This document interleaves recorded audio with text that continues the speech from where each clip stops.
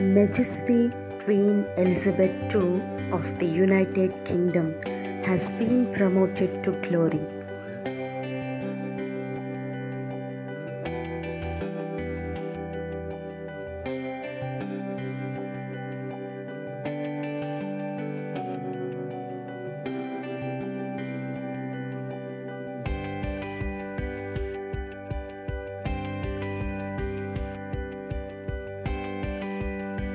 Her faith and devotion towards God is commendable.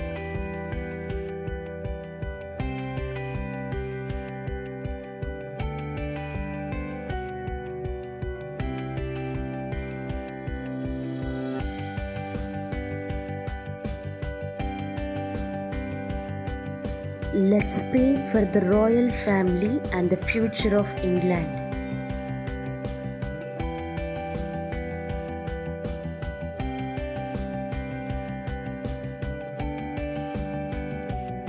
May the will of God be prevailed.